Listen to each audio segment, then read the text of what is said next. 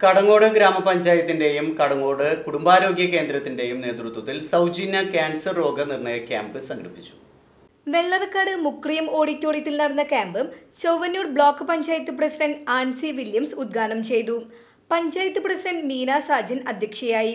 Block മെമ്പർമാരായ K K Mani Lalitha Gopi panchayat സ്ഥിരം സമിതി അധ്യക്ഷരായ രമണി രാജൻ രമ്യ ഷാജി മെമ്പർമാരായ Beena Ramesh Jolly Thomas Maimoona Shebeer Tessy Francis doctor Binoj George Mathew health inspector Suresh Babu തുടങ്ങിയവർ പങ്കെടുത്ത് സംസാരിച്ചു.